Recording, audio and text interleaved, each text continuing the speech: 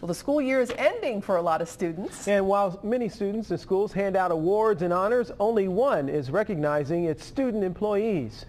DePaul Cristo Rey has a corporate work-study program where students work five days a month at entry-level jobs in companies throughout the tri-state.